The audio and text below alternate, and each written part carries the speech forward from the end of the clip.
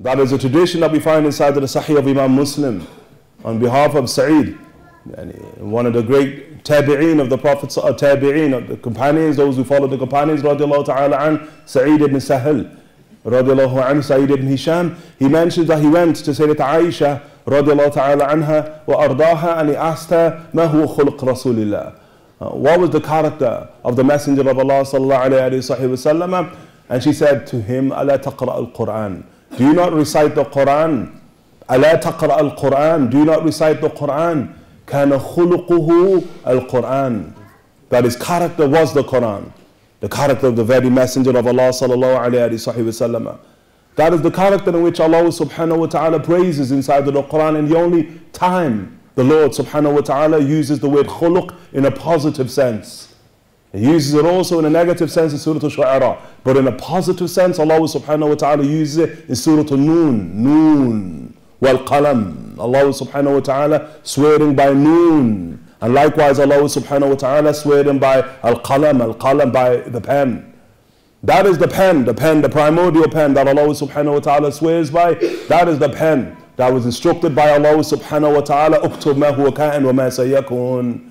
Yani write that which is and that which shall be. Uktub ma huwa ka'in wa ma sayakun. In the tradition with the Prophet sallallahu said, أول ما خلق الله والقلم. That the first thing that Allah ta'ala created was the pen, qalam, that which Allah subhanahu wa ta'ala swore by. And Allah subhanahu wa ta'ala instructs the pen, uktub, write, write. The pen asks Allah subhanahu wa ta'ala, ماذا أكتب? What shall I write? What shall I scribe? And Allah subhanahu wa ta'ala says, Uktub ma huwa ka'in wa ma sayakun. Write that which is and that which shall be. That which is and that which shall be. In another version of the tradition, Allah subhanahu wa ta'ala says, Uktub, write. And the pen says, Mada aktub, what shall I write? And Allah subhanahu wa ta'ala says, Uktub, la ilaha illallah. Write, la ilaha illallah. Muhammad Rasulullah. Muhammad is the messenger of Allah. The pen inquires to Allah subhanahu wa ta'ala, Woman Muhammad. Who is Muhammad? And Allah subhanahu wa ta'ala says, Muhammad, he is the one that if it was not for him, ma khalaqatuka, I wouldn't have created you.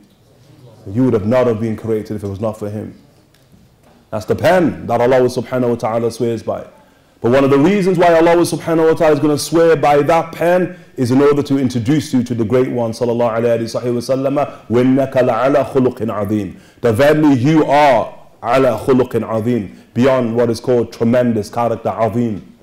Sallallahu alayhi wa sallam.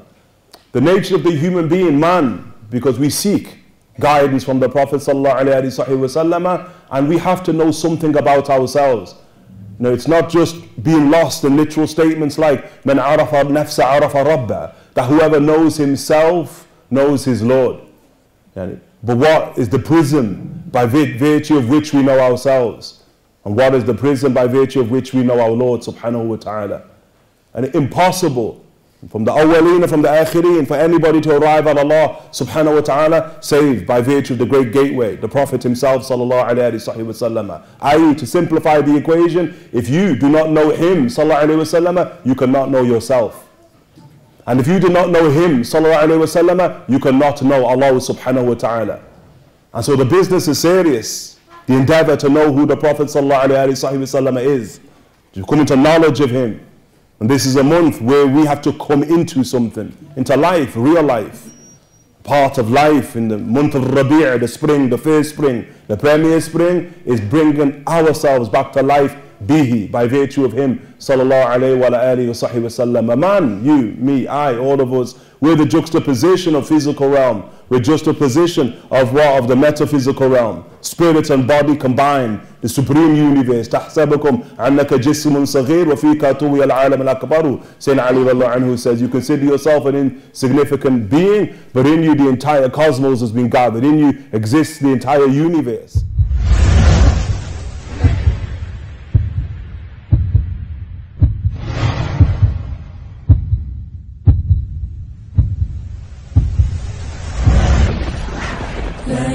إلا الله محمد رسول الله. لا إله إلا الله. محمد رسول الله.